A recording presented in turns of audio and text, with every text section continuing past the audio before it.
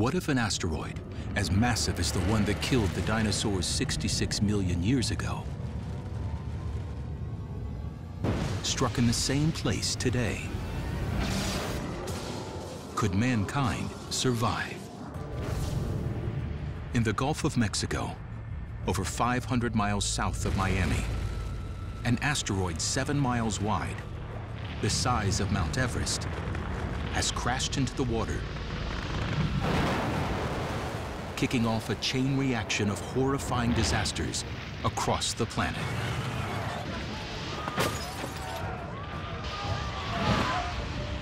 If an event the same as what killed the dinosaurs happened today, you're talking about the near complete destruction of anything and everything on the planet. In Los Angeles, a cloud of ash cloaks the city.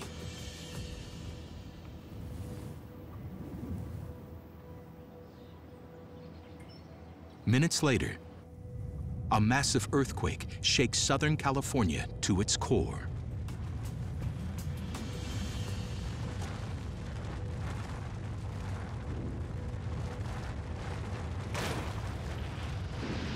At a magnitude of 10.8, it's the most powerful in recorded history. A shockwave radiates from the impact site in all directions.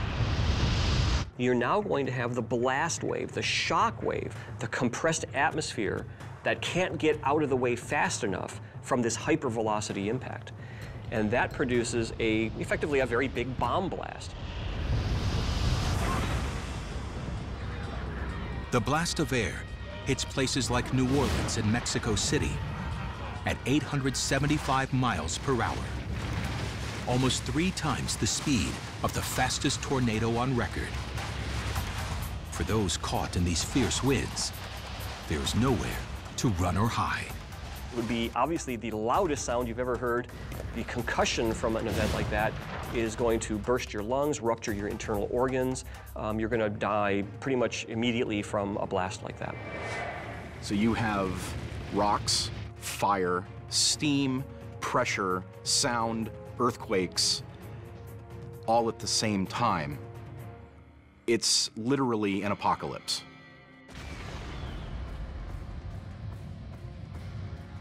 And this is just the beginning.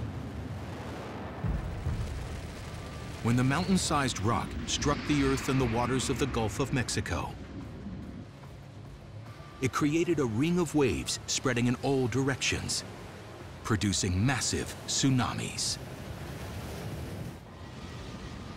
Waves hundreds of feet high surged toward the cities on the Gulf Coast of the United States, sending people running for their lives. We're talking about massive waves, not one, but there's actually many waves separated by minutes that will impact the coast and engulf anything and everything in its way.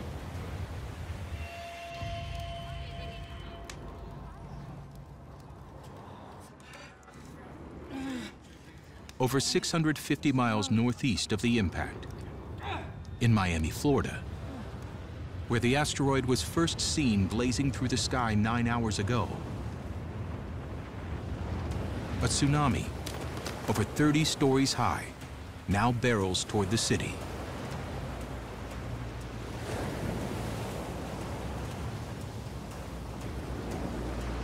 In the peninsula of Florida, your highest points are only, you know, maybe 100 feet above sea level. A tsunami of that magnitude is going to be pretty devastating. A wall of water blasts through Miami like a wrecking ball. Florida will suffer greatly. It's exposed on every side, and it's a particularly shallow piece of land with nothing that can really stand in the way of the monster wave. Cities like Miami are going to be absolutely inundated.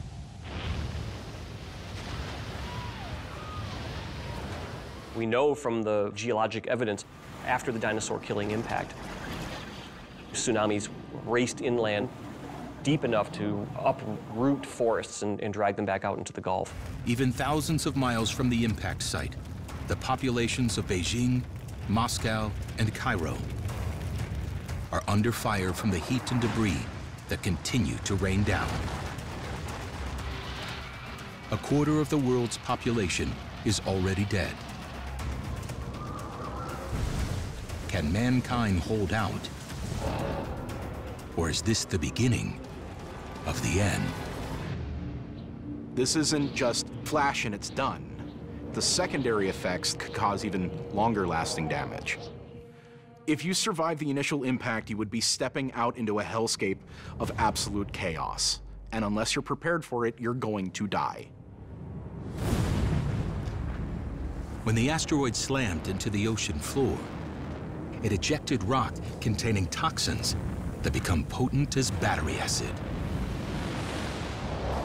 Sulfur-containing compounds released to the atmosphere combining with rainwater are going to make sulfuric acid rains.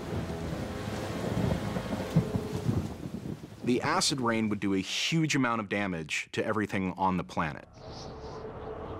Buildings would corrode. Plants would die. Rivers would be clouded full of material. Most reservoirs would be undrinkable. You would have to have some amazing water filtration systems to even begin to think about survival at this point. In Los Angeles, one week after the impact, survivors are still recovering from the massive earthquake that almost leveled the city. They now must battle toxic dust, aerosols, and acid rain. If you were to survive long enough and you were to come out of your shelter or anything like that, you'll have to have protective equipment. You'll have to have goggles from all the dust in the air. You'll have to have a filtration system, a respirator. The combined effects of dust, smoke, and acid rain do more than pollute the air and soil. They almost completely block out the sun's rays.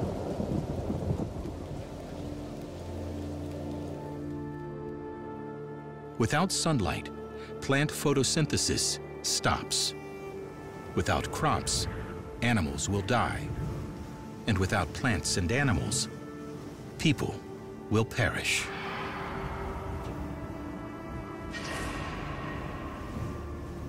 Effectively, the whole food chain is broken. We know that the extinction nearly 66 million years ago was a global event because beyond just the dinosaurs dying, we know that roughly two thirds of all species of life perished throughout the world. And so this impact had to have global consequences. Changing the atmospheric composition that's going to severely affect agricultural plants. There's going to be a lot of people out trying to scavenge food beyond their local supermarkets, that's for sure. You will do anything for your loved ones. That includes instituting survivalist tribal war to try and get someone else's resources. At that point, it's survive or die.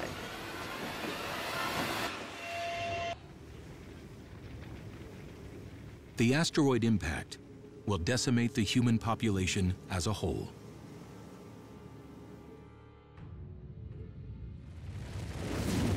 Sixty-six million years ago, when the first killer asteroid hit, most land creatures weighing over 30 pounds went extinct, which means the long-term outlook for humanity is grim. Leaving the very existence of our species in doubt. I would guess something like 99% of the human population would die in such an event. Long term, say 10% of all of humanity lives. Then you have a genetic bottleneck that may not be a viable population.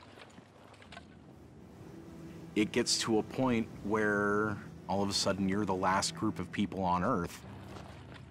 And if that happens, you may survive for a generation or two. Our intellect is our tool. That is our evolutionary edge. But we've lost the kind of necessary natural tools to use in a situation like this. The next great extinction likely will be us.